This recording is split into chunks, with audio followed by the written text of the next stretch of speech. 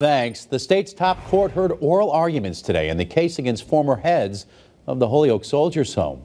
The Commonwealth is appealing the dismissal of an indictment for elder neglect after the dementia housing units were merged at the home during the pandemic. Western Mass News reporter Lexi Oliver has more. Lexi. Chris, the state is looking into the former superintendent and the former medical director's alleged roles in that deadly COVID-19 outbreak in the Holyoke Soldiers Home back in 2020 that took the lives of nearly 80 veterans. And one of the main things the court is trying to uncover is did Holyoke Medical Center reach out to Bennett Walsh or Clinton to offer assistance with taking in veterans? Wednesday, the state Supreme Judicial Court hearing arguments in the Holyoke Soldiers Home case after a judge dismissed the criminal neglect charges against former Superintendent Bennett Walsh and former medical director David Clinton back in 2021, saying there wasn't enough evidence to prove their actions led to those deaths. Close to 80 veterans died from the virus in the home in 2020.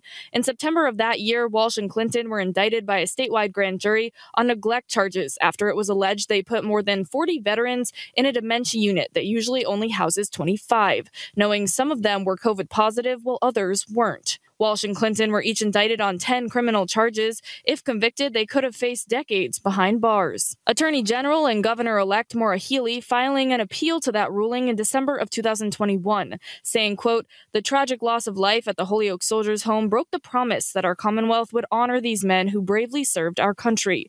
We are filing this notice of appeal to pursue accountability on behalf of their loved ones and communities. On Wednesday, Assistant AG Anna Lumensky presented arguments for the Commonwealth Commonwealth. If you look at the testimony of the witnesses, they describe bodies on top of bodies. They describe a war zone situation. They say that uh, one of the one of the family members said she felt like they were being treated like a barn full of animals that um, it was a death trap the court grilling the commonwealth saying they have to show probable cause and reckless neglect what you need to show tell me if i have this wrong is that all this is creating an increased risk of a substantial likelihood of harm. They have no staffing. They have to they have to do something. But to me, the critical fact is this: what's there is some availability at the Holyoke Medical Center, right? Yeah. Without that, though, they're they're doing the best they can, right? Meantime, Dr. Clinton's attorney argued his issues with the indictments. But there was absolutely no evidence that Dr. Clinton met the narrow statutory definition of caretaker set forth in this statute.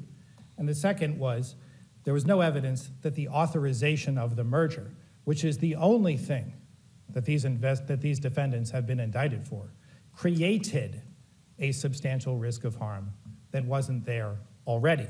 A main issue the court focused on is an alleged offer from the Holyoke Medical Center to help by taking in veterans. The state is saying Walsh never contacted Holyoke Medical Center despite them reaching out. But Walsh's attorney says there was never an offer to begin with.